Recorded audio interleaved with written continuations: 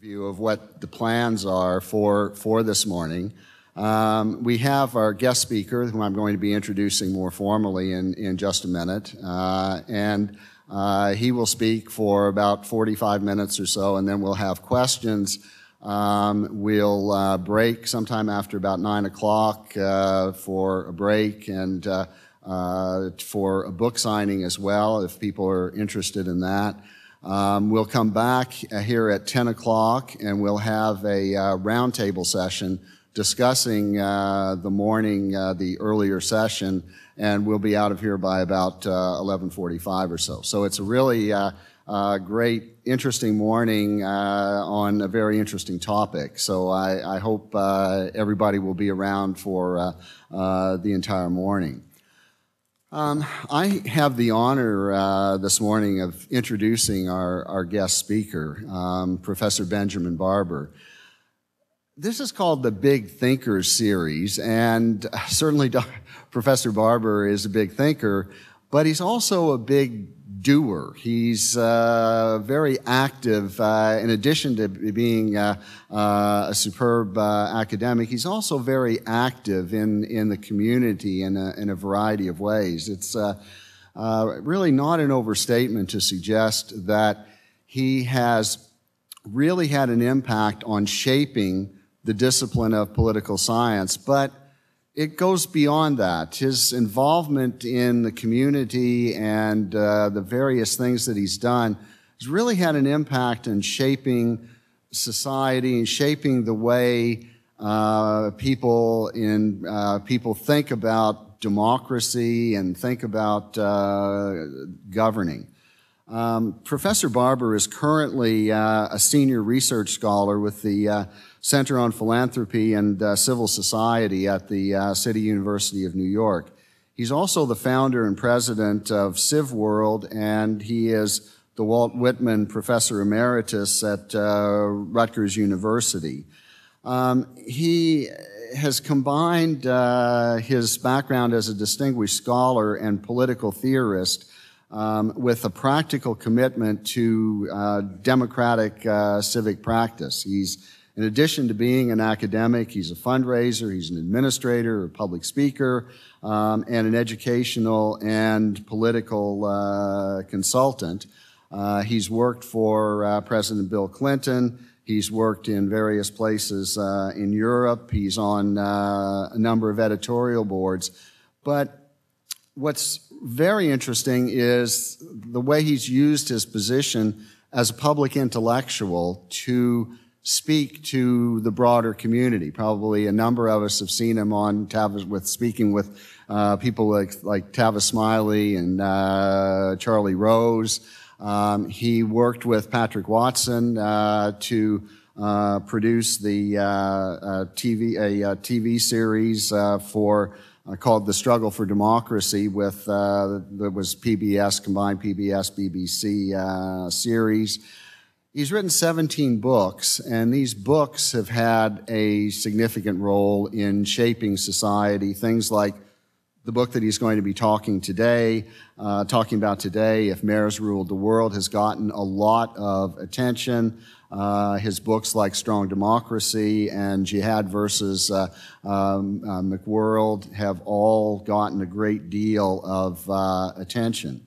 He has a PhD and an MA from uh, Harvard and a BA from Grinnell College. Um, and uh, with that uh, introduction, I'd like uh, Professor Barber to uh, come and uh, talk to us today about if mayors ruled the world. And then after he speaks, he's agreed to respond to some questions. So thank you very much.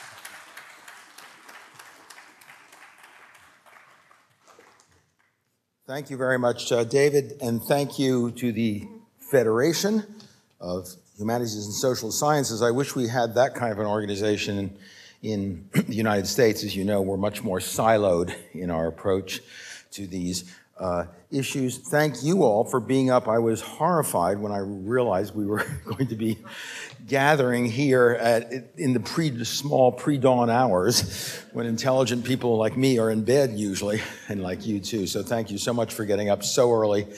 Uh, to, to be here, but I hope uh, I will minimally not interfere with your napping and possibly even keep you, keep you awake uh, for the next uh, period of time. And we should have a very interesting morning because I will introduce some themes here. Uh, and after uh, the book signing, we will have an opportunity to meet with a number of uh, mayors, including I know a very popular mayor here, Rob. Uh, no, I mean, you know who I mean, uh, Mr. Nenshi from Calgary, uh, and others. So that should be uh, extremely interesting as well. Um, it's I, I, spent a lot of time in in Canada. Uh, in the old days, I spent time here. Can you all hear? I'm gonna. I have a mic here. Is this one working? You all hear me? Okay. It's still working well. Okay. Uh, I, have come a lot, and like so many uh, Yankees, like so many U.S. citizens, for a long time, I came here because this was really a place uh, where there was a reasonableness in uh, the citizenry, where there was an engagement in politics, where there was a deep concern with climate, and uh, where we had a kind of model of what were we not so greedy and absorbed uh, in our own narcissism in the United States, what we could look like. I can't say that's true anymore, I'm sorry to say. Uh, and one of the things I want to talk about a little later when we talk about climate and cities is, is what's happened uh, here in uh, kind of Canada losing its way, uh, from my point of view, as a model for so many people uh, in so many different places. But I want to talk today about cities and what cities can do because, as you will see, my argument is going to be that we need to focus far more today on cities, metro regions, uh, the urban parts of the world if we are to continue to make progress towards civilization, sustainability, social justice, and a answer to global problems. And in case it wasn't evident, and I think it is to this audience, uh, we start with the reality of a global crisis today in democracy. And uh, David said some nice things about, about me and about democracy, but if I have some responsibility for democracy, then I guess I have some responsibility for its pallid state in the world today because democracy, in my mind, is in trouble. Principally, and above all, in the old democracies, where it was born, where it flourished, uh, where it was cultivated, and where uh, today we see the most alarming kinds of developments. Uh, just start with the European elections uh, over last weekend. You know uh, that in Europe, after 60 or 70 years of this noble experiment in pooled sovereignty, in overcoming the nationalisms that led to one war after the other uh, throughout the 20th century, uh, Europe is now in full flight from Brussels, in full rebellion against what is seen there as a bureaucratic, top down, arrogant, Brussels centered approach to Europe that is being repelled by the very people it was meant to serve working people, farmers, workers, and even immigrants as well. What we are seeing, in other words, in Europe is a breakdown of the European experiment, a reactionary nationalism, going back to the very forms of isolation, separation, anti foreign feeling, anti Muslim feeling uh, that represent the worst of Europe,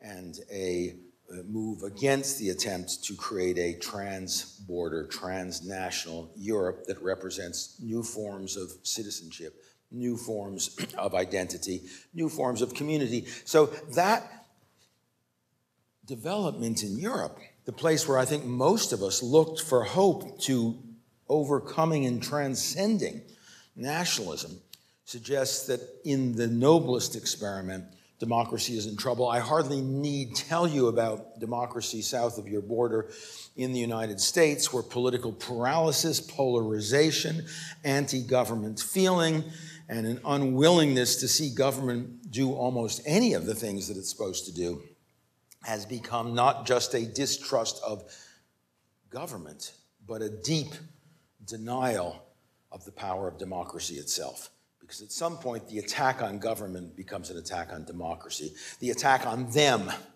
whether in Ottawa or Washington or Paris or London, becomes an attack on us, our community, our democratic institutions, our capacity to exercise a common will to make common decisions in the public interest. So the crisis in democracy which we see, even in the oldest democracies, is alarming enough. And then you go to areas like the Middle East, where we're coming off of, this is about three years now into an Arab Spring that has gone to winter with no apparent summer, where almost all of the nations deeply engaged at one point in a rebellion against traditional hegemony and authority now find themselves locked more into new forms of hegemony and authority than ever before, with the complicity of the very people who were engaged in the democratic revolution. So that we see the sad story of an Egyptian new class trained as young lawyers and techies and people who believed in a secular democratic Europe, reacting to the first popular elections in Egypt, the election of Mr. Morsi and the Brotherhood, by calling back in the army to oust the democratically elected government because they didn't like the outcome. Same thing in Ukraine. We don't want to forget that the president who was chased out uh, and led to the downfall of the regime that led in turn to the chaos we see there now was democratically elected.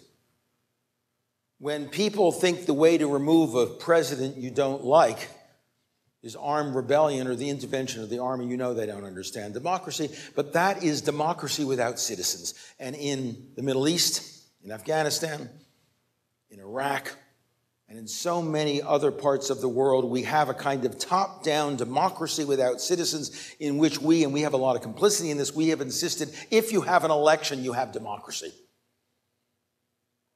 Not understanding our own history, in which elections are the final stage of building a democracy, not the first stage. First, you develop civic institutions. First, you develop citizenship. First, you develop education and educational institutions. First, you develop a strong civil society. Then you begin to create political institutions that bottom up, create the basis for democracy. That's a lesson the West has totally forgotten with the experience in Libya and elsewhere. Our view is if you decapitate a tyranny, you get a democracy.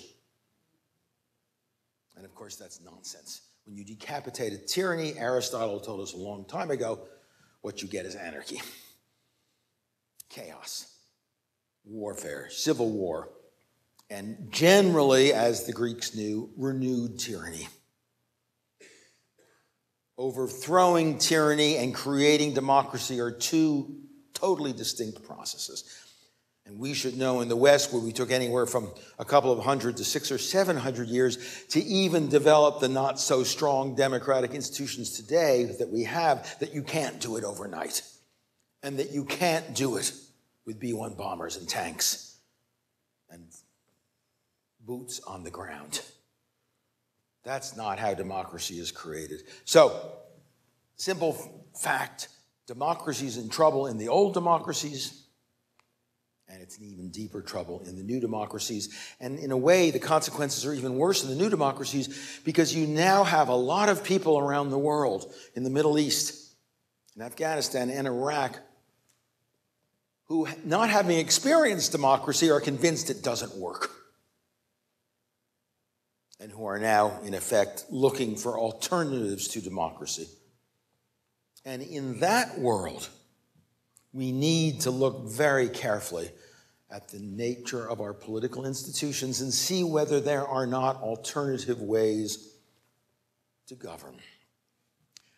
And it is in that context that I suggest in my book that we change the subject. As political scientists, as social scientists, as citizens, as politicians, we stop thinking about nation states and start thinking about cities again. Stop thinking about prime ministers and presidents and provincial governors and start thinking about mayors and city councilors and city managers. Stop thinking about citizens as those passive, complacent television watchers who see citizenship as the culture of complaint, something to watch and complain about, but not participate in, and go back to the earlier notion of citizenship from which the etymology of citizen comes, cité and citoyen, citizen and city, and begin to think about the more active, engaged, responsible citizens of the neighborhood, of the urban district, of the town, and of the city. And when we do that, when we change the subject, all sorts of new opportunities open up for solving our problems, not just within our cities, but globally. Because here's the other part of the conversation about democracy it's not just that democracy is not working, cannot work effectively within nation states. It is also that nation states have proved, quite aside from whatever deficiencies they have internally, they have proved incapable of dealing with the new interdependent global problems that define the 21st century, that define our new millennium. We live with a disturbing dilemma. All of our political, social, economic, and cultural challenges are fundamentally global in character. And all of the political institutions that respond to them are independent, local, sovereign, and separate. So we respond to 21st century problems of interdependence with 17th century nation states that frankly were never designed to work together. They were designed for independent jurisdiction and authority. I mean, think of the problems we face. There's no problem of Toronto warming, Niagara warming, Buffalo warming, Vancouver warming, North American warming. It's global warming. That's the climate problem. I tried to get on the web last night, but I couldn't find the Niagara web when I was here, or the Brock web. There's a World Wide Web. Technology today crosses borders. When I was growing up in Manhattan, a long time ago, my mother used to say, Don't go to New Jersey this morning, dear. There's a virus in New Jersey. I don't want you to get sick. I don't worry about the New Jersey virus. I still live in New York.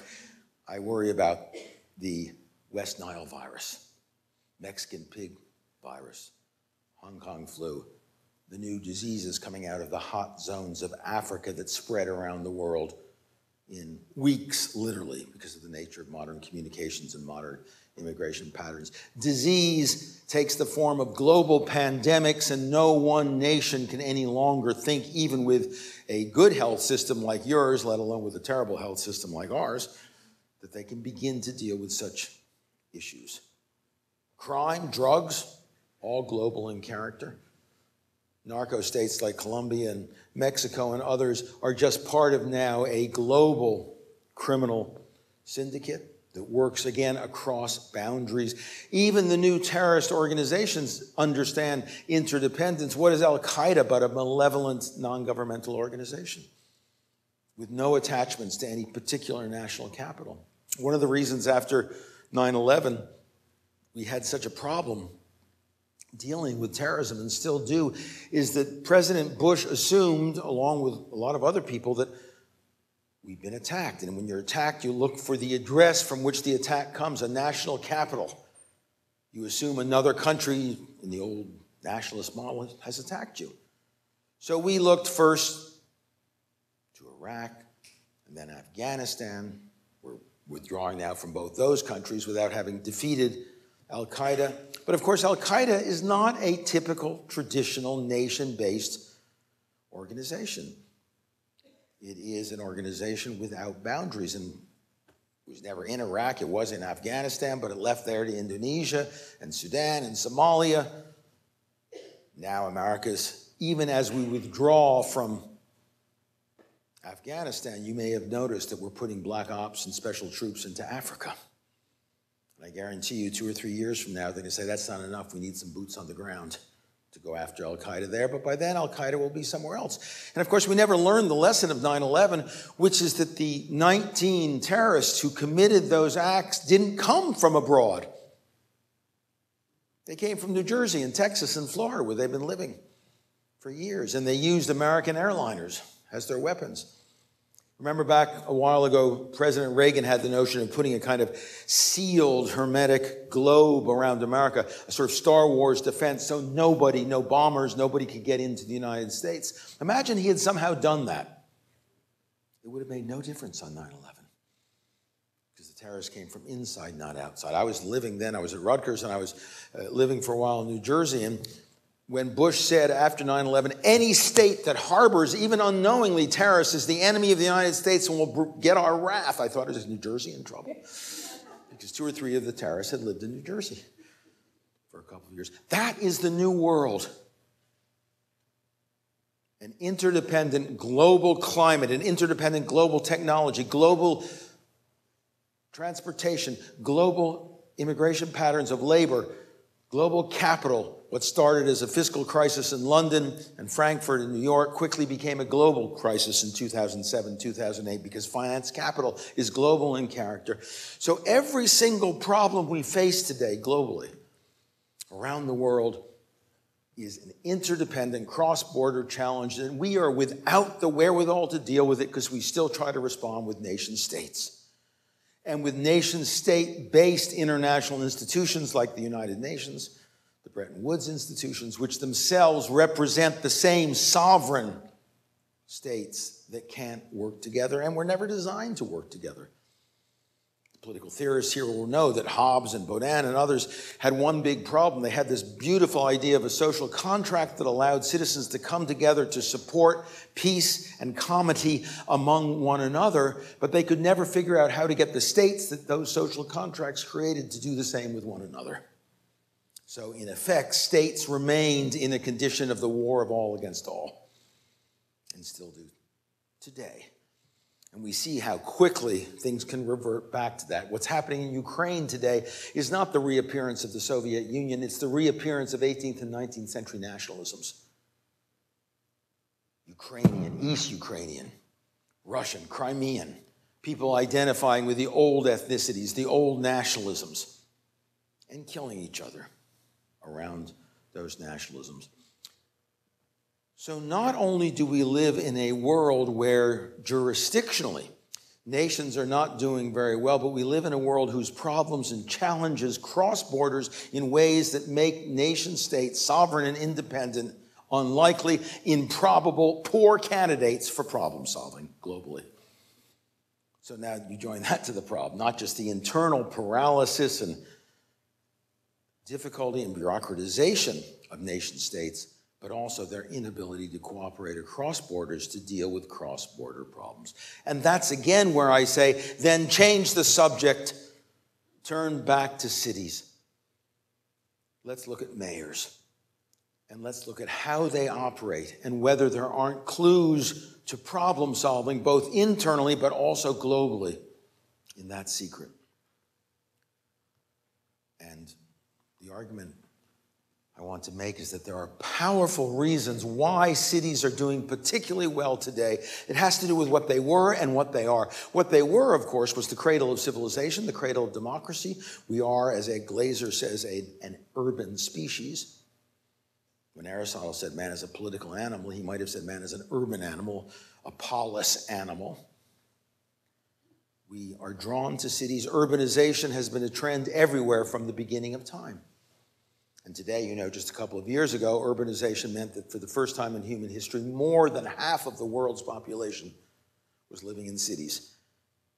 And every year the percentage goes up. And in the developed part of the world, in Canada, the United States, Japan, Europe, that figure is closer to 80%. Four out of five people live in cities or metro regions. And the number grows. Just a few decades ago, China had about a billion people in villages and about 300,000, 300 million people in the cities within 300 kilometers of the coast. Today, there's six or 700 million there. And people are leaving the villages in droves to come to those new cities. In the last 10 years, there have been 100 new cities with a million people in China. 100 new cities with over a million people. And that trend continues. Chongqing, which was the wartime capital for the Kuomintang during World War II, today has 35 million people in its metro region, more than the population of a majority of the world's states. One city. So urbanization is a reality. And the movement of people to cities is crucial. Because cities are not just another level of governance, cities are also the fundamental, the essential, the defining human community. Cities are where we're born, grow up, where we're educated, we get married, we have children, we work, we play, we pray, we create, we get old and we die. Most people, first of all, associate with the cities they come from. You ask somebody where they're from, they may say Canada if they're in Japan, or they may say the US if they're in Canada, but even then, they're much more likely to say, Oh, I'm from Louisville. I'm from Medellin. I'm from Nancy. I'm from Brussels. I'm from Amsterdam. Because those are the defining communities. So cities aren't just a level of government. We political scientists think of everything as levels of administration. There's the super region, there's the state, there's the province, there's the larger city, there's the neighborhood. But the city is something different. The polis is something different. It defines our human community. So it's vital to us. And it means that we have an association and an engagement with and in the city that's very different from our national citizenship. And it means, and it's a fact, that people continue today, even in this era of deep distrust of government, to trust their mayors, to trust government in the cities. Almost everywhere in the world, if you do trust polls, you'll find that national governments are not trusted, city governments still are. In the United States, you know Obama's, the presidency's rating is around 40%. The Supreme Court, that used to do very well, seen as independent, is under 50%. The Congress of the United States, the most directly elected body, one in 10 of the people who vote for it trust it. One in 10. But you ask the same question about mayors, city councilors, the numbers shoot up 70, 75, even 80% of people say, well, yeah, I kind of trusted. I mean, look at even Rob Ford. You know, his ratings when he went into rehab were higher than Obama's. Some would say, well, that's Obama's problem, isn't it? Or Toronto's problem. But on the other hand, what it meant, what that was a little bit of a testimony. Yeah, but he's our guy. He may be a crazy man, he may be a drug addict, but he's our guy, and he's from the community. He's kind of doing his best, which isn't very good, but still. And that's the way, you know, it's a different mindset. It's a different mindset when we come to mayors. And I know Mayor Nenshi, who's going to be here later uh, this morning, you know, is extremely popular, in part because he's a mayor. In Holland, which is really a country of cities more than anything else, They've been through a lot of difficulties, but if you look at the recent parliamentary elections for Europe, Holland's one of the few states that did not see a big growth of the right wing parties that Geert Wilders and others do. That's partly because of the robustness of cities. Ali Hirsi left there. There are a lot of people who think, well, the Dutch, they really can't deal with Muslims, except for the fact that Rotterdam has a Muslim born, Moroccan born mayor who's the most popular mayor in Holland today like Nenshi, not because he's Muslim, not because he was born in Morocco, but because he's a hell of a good mayor. And people think he really embodies and represents the city and the needs of the city. And I would argue that it is in part because of the influence of cities and mayors in Holland that they withstood more than a lot of other parts of Europe. They withstood the tendency to vote a reactionary, nationalist, anti Brussels mandate in these elections. I mean, United Kingdom's independence party and the Front National in France had extraordinary successes, but not where cities are concerned. So, cities represent a fundamental political alternative and one that is closely tied with our, with our community identity, with our civic identity, with our sense of place, and with our sense of self. So it makes sense to say, let's go back to the city and see if we can make them work for us. Let's see if we can get them to deal with some of the issues that states don't deal with very well or at all. And the fact is, when we do that, what becomes apparent is that they do solve problems that others don't. That in fact, mayors are a rather different kind of personality, necessarily, than national politicians. Mayors are, first of all, pragmatists. Their job is to solve problems and make things work. As mayor after mayor has said to me, I might be a Tory, I might be a socialist, I might be a liberal, I might be a conservative, but by God, I better get the snow off the street when it snows, and I better get the garbage picked up, and I better make sure kids in my city have education and we hope preschool education, because I have to do that. Twice in the last two years, you may have looked with some wonder southwards at Washington, D.C., and noticed that the government of the most powerful country in the world, the United States of America, closed its doors. Twice. Well, first of all, the astonishing thing was nobody noticed. Not much changed. But the other thing was think for a minute you can close Washington, you can close a national government, but try to close Calgary. Try to close Banff. Try to close Toronto. Try to close Buffalo. Have you ever heard of a city that closes? Have you ever heard of a mayor stand up and say, you know what? I'm going to stand on principle here. My opponents don't agree with me. I'm going to close the city till I get some agreement from the other side. Cities in the Middle Ages during plague and siege, cities didn't close. You can't close cities. No police, no fire department, no public transportation, no schools, no hospitals. Just can't do it. The services of the city are what government is really about. We have turned government into an ideological quarrel. Maybe there are too many political scientists out there. But we like to think about government as these grand quarrels and these rather old fashioned quarrels, 19th century quarrels about the industrial proletariat and old fashioned capital. As if in an information service global economy, those categories work very well or mean very much. But at the national level, we still divide up that way left and right labor, the people, and the capitalists.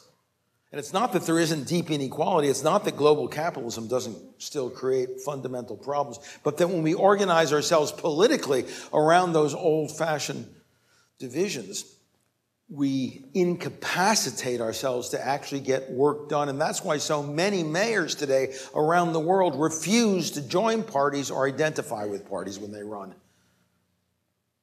Bloomberg in New York started out as a Democrat, then he was a Republican. By the time he was elected, said, I'm an independent. It's absurd to talk about those categories. Bristol, England was the first of several towns to opt to actually have a direct election of mayors because France and England, Ireland, and other countries actually have an indirect election of mayors through the city council. Bristol said, We'll do it directly. The first man to win, a terrific mayor named George Ferguson, ran as an independent. He said, I'm not going to join the Labor or the Tory party. And he won as an independent. I was in Kansas last fall, so called red state, a Republican state, very Republican. But what people don't know is that half of Kansas lives in towns over 5,000. And that of the 300 mayors who were at that municipal meeting, half of them said, Yes, I'm probably a Republican. It's a Republican state, but I didn't, I didn't run as a Republican. Really doesn't matter because it has nothing to do with what I have to do when I solve problems. I tell a story in the book about Teddy Kollek, the mayor of Jerusalem, for many, many years in the 1980s. And by the way, he was fairly ideological. He was a Zionist. He wasn't very friendly to Palestine. But the reality was, he was the mayor of a multi ethnic, multi religious city. He tells this wonderful story because he was constantly being plagued by Christian prelates and rabbis and imams coming into his office in City Hall and talking about, arguing about access to the holy sites and comparing their different histories and their legitimacy and the rights of their claims. And he finally said, Gentlemen, gentlemen, spare me your sermons and I will fix your sewers. well, that's what mayors have to do Don't give, don't give me your socialist and your conservative and your Tory sermons. Let me fix your sewers. Let me get the buses working. Let me make sure that kids have decent education. Let's make sure everyone can use the hospitals. Immigration, undocumented workers. The federal government of the United States says 12 million people who are resident in American cities today don't exist. They are illegals, undocumented workers. And as far as the feds are concerned, they have no status whatsoever. But the mayor of American City says, Excuse me? They're here, they work, they drive, they have children who go to school, they use the hospitals, they, some of them commit crimes.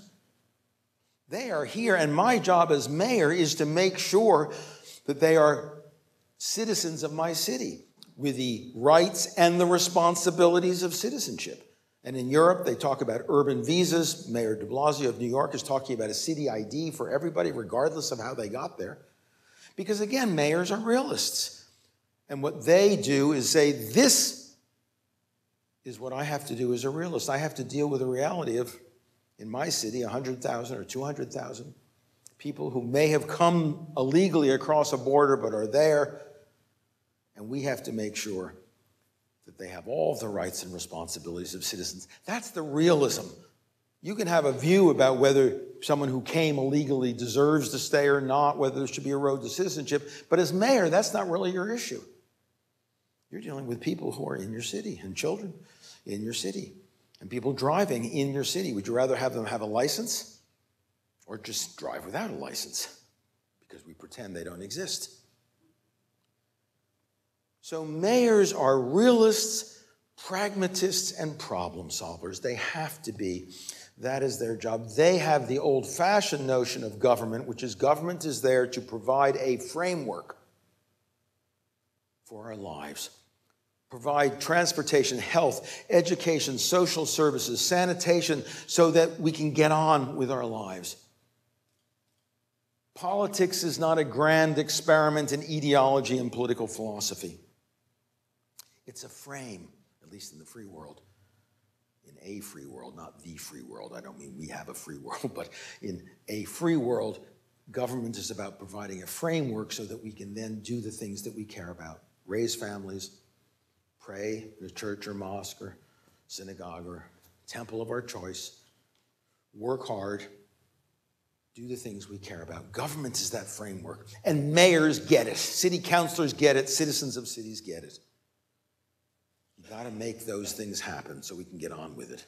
And when you turn government into a grand quarrel about aging ideologies from a different industrial period of the world, it's not very helpful to getting those things done.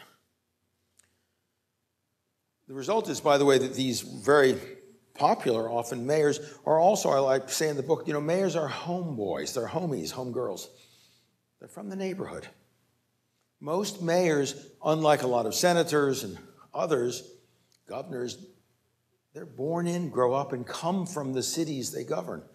They are seen as neighbors taking a spell at government.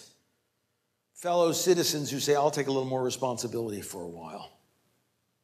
And seriously, Rob Ford has retained a good deal of popularity because he's still seen by a lot of people in Toronto as their neighbor, their guy from the town. If he had parachuted in from Vancouver or Edmonton or somewhere else, believe me, he wouldn't have had the career that he's had. But that's we, we forgive mayors what we wouldn't forgive others. Ed Koch used to run, wander around New York City saying, How am I doing? Imagine your prime minister or my president wandering around saying, How am I doing? He wouldn't want to hear the answer. And moreover, he wouldn't ask. The mayor, Cory Booker, when he was mayor of Newark, now he's a U.S. senator. You can ask him why he left. I think it was a mistake, but when he was mayor of Newark, twice on the way to work, he was driving his own car. In one case, he stopped a mugging. In another case, he went into a building where people had been overcome by smoke and pulled two people out.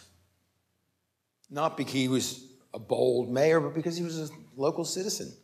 He said later, I would have done that whether I was mayor or not. You know, I'm in this town. There was a fire. I stopped. I helped the way we ordinarily do help citizens. You read every day about an ordinary citizen pulling someone from the tracks of a metro or subway or helping somebody with a heart attack. And mayors do that because they're from the community, they're indigenous. And the result is, for the most part, The mayoralty is not a very successful or good platform for national office, despite the fact that some mayors are ambitious and despite the fact that we often say, gosh, this mayor is so good, I can't wait till he's a provincial governor, he's a prime minister. People have told me, Nenshi, you know, let's get him up there.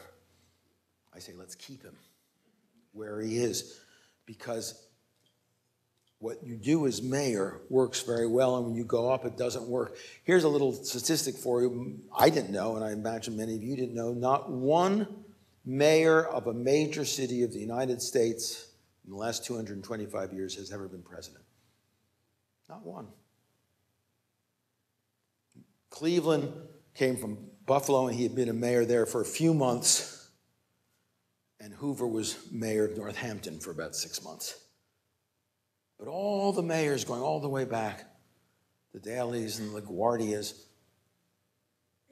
never done that because it's a different kind of job. And when you do it, you get in trouble. John Hickenlooper was a terrific mayor of Denver, Colorado. He was a brewer. He came from the brewery industry. He had a private brewery there.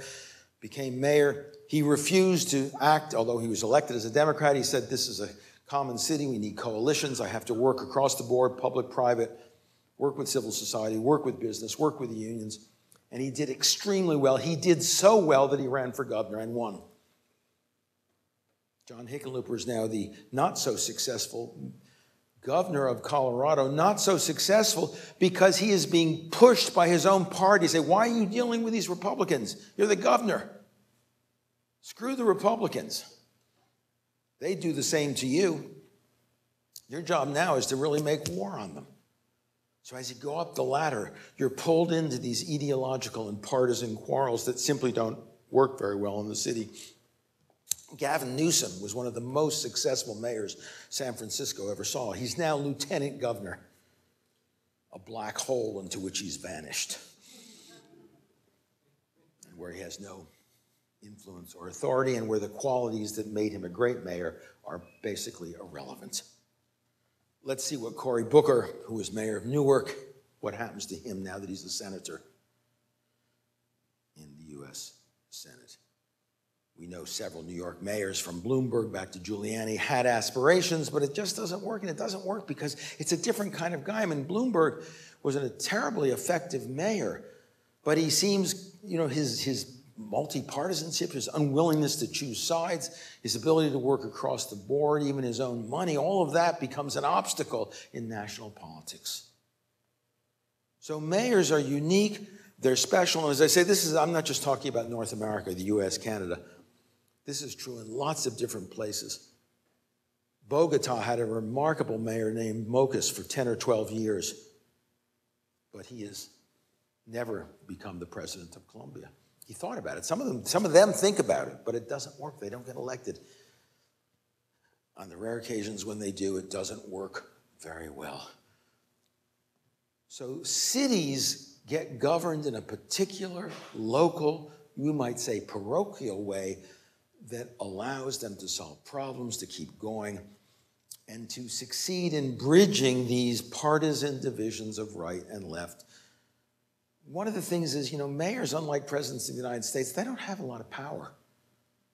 They can't just give orders and make things happen. The only way you can get something done if you're a mayor in a city is to get the business community, to get civil society, to get the philanthropies, to get the hospitals, to get public officials, to get unions, and to get ordinary citizens behind you. You want to do something, you build a coalition. And when you don't, even a successful mayor is in trouble.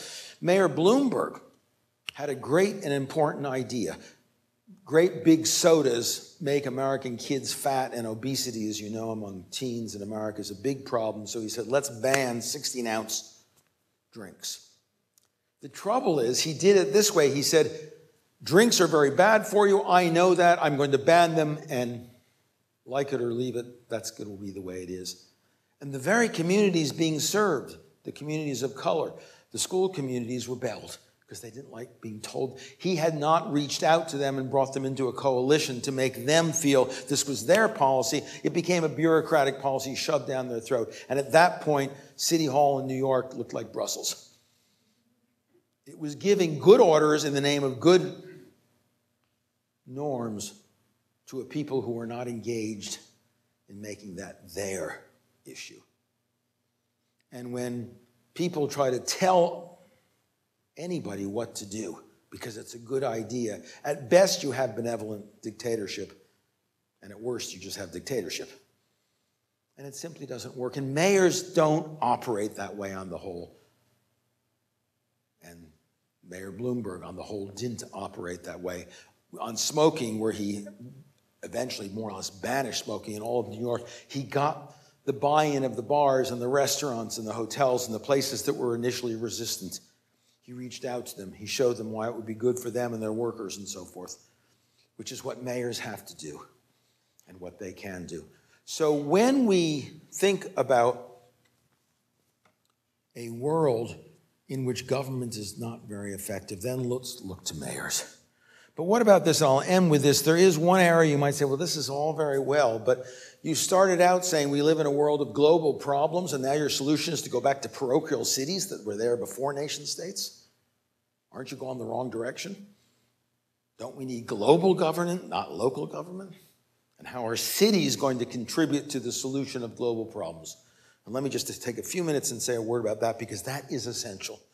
The original subtitle of my book was not dysfunctional nations, rising cities. It was if mayors rule the world, why they should and how they already do.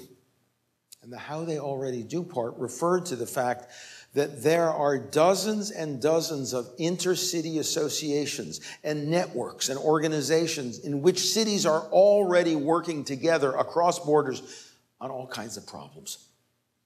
It's not just that cities should rule the world, it's that in many ways they're the only ones who are doing things together to do so.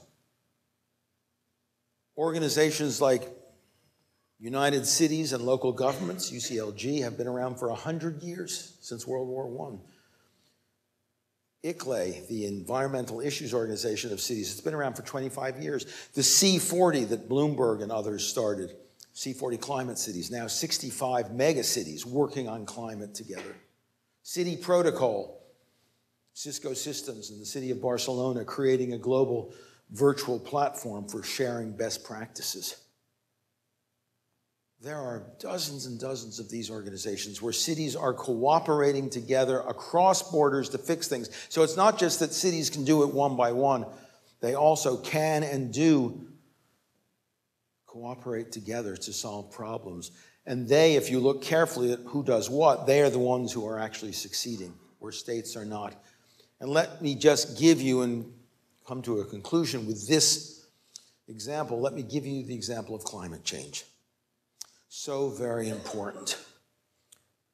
10, 15 years ago, 20 years ago, when the United Nations COPS process began on environmental change that gave birth to the Kyoto Protocol, there was a hope, this was in the 1990s, that the nation states of the world would recognize that destroying the planet would be a disastrous thing to do and something had to be done. And the UN and nation states, under the leadership of places like Canada, if you're young, you won't remember those times when Canada was a good climate citizen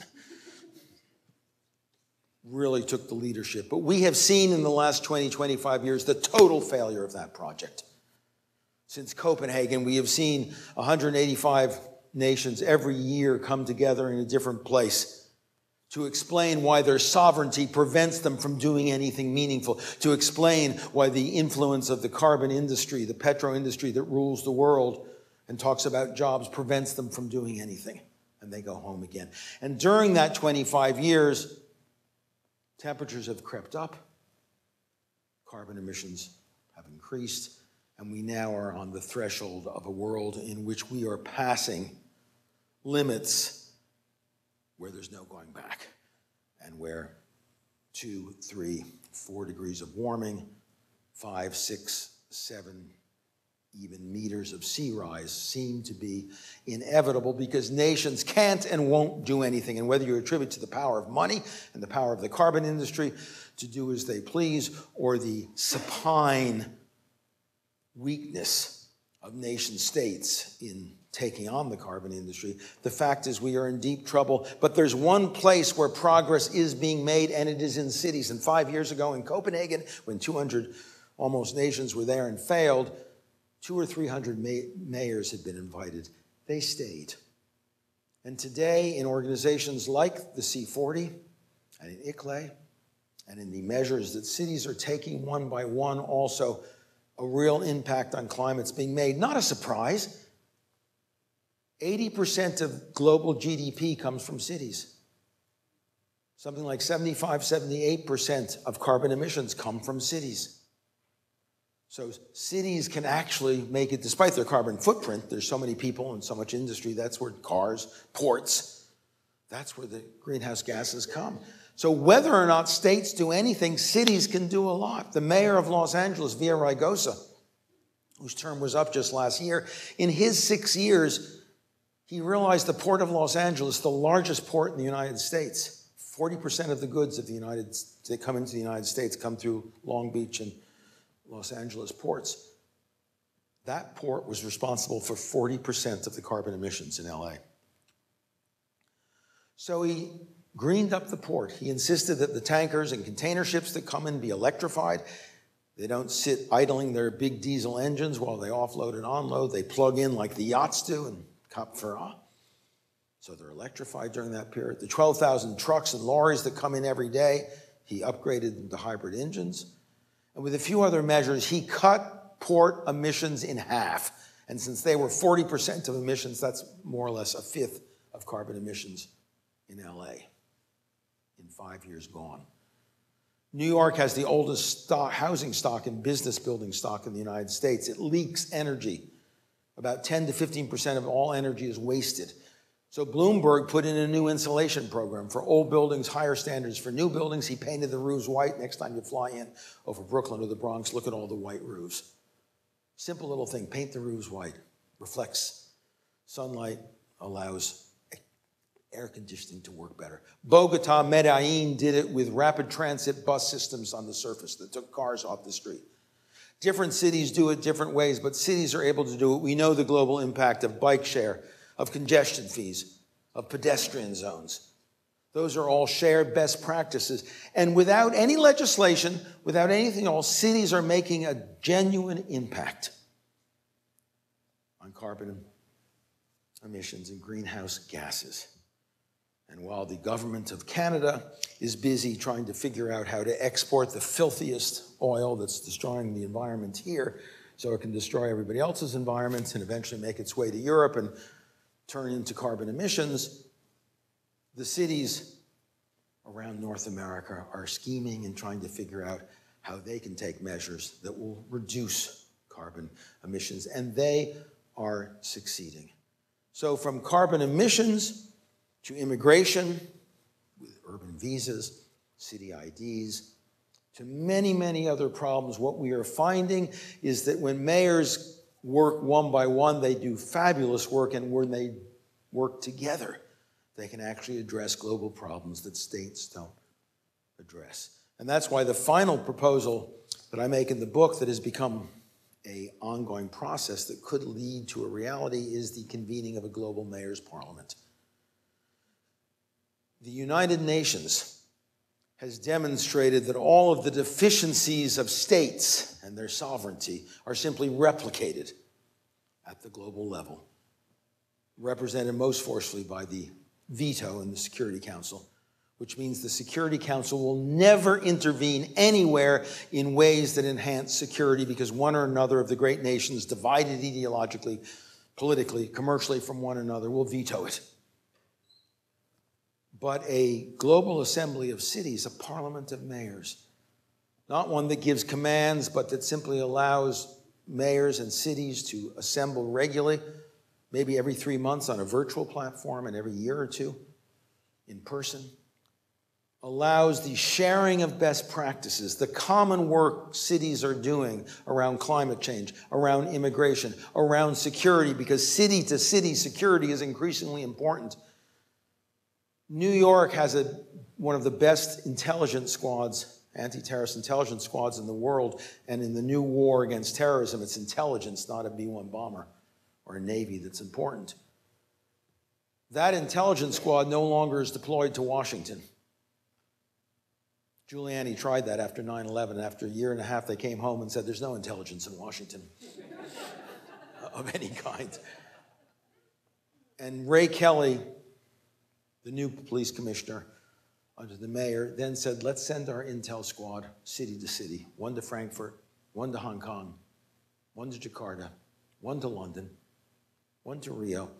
Let's put our intelligence squad in touch with other intelligence squads in other cities, and let's do city to city intelligence sharing because the other, that, that's where the information is. And one reason New York's remained relatively safe, despite the fact it's the number one target for terrorists around the world, has been intercity intelligence sharing. So even in this area of national security that most people say, well, that's something cities can't do. It's an area where cities are doing what nations can't. So a global mayor's parliament is an idea that would permit cities to formalize this sharing to work more systematically together, to create a network of networks. There are already a lot of urban networks. This would be a network of networks, a keystone in the arch of intercity associations. And it would be a way for cities to take their wisdom, their experience, and their pragmatism locally to the global level. It's a perfect example of a word I love, glocality. The localness of participatory cities, the globalization of the reality of the world. Jean Monnet said in the 1940s, we live in a world where power is too big and broad and global for states, but participation is too small for states. States are the perfect wrong size. Too big for participation, too small for power. Cities are small enough for participation and democracy, but when they work together can create a global association large enough to begin to deal with the global problems that we face today. So cities are not just an interesting sideline, a kind of nice little way to chat about the urban communities we live in and love. It is, I believe, a fundamental source of new civic and political and economic solutions for a world desperately in need of solutions. It is a new chance, an opportunity for democracy to work because while people don't trust democracy nationally, they still trust democracy in the cities. There's an optimism about the city. Young people who are cynical about democracy will say, Yeah, but in my neighborhood, it works. In my district, my town district, it works. I kind of believe in it at that level. I'll get engaged at that level. So it's another chance, it's a second chance for the democratic ideal back in the place where democracy was born in the polis. And so, with a global mayor's parliament, you move from a world that started with the polis to a world that possibly can culminate in the cosmopolis, the union of cities the union of citizens from cities who understand public goods and public interests, and who, when they work together with the diversity, the multiculturalism, the creativity, the entrepreneurial qualities of the city, the deep creativity of cities, can once again solve problems that in recent years have defied solution. So, in this new cosmopolis, there is a new hope not only for pragmatism and problem solving and governance, but a new hope for democracy. And that's why, for me, it makes perfect sense that mayors should rule the world. Thank you very much.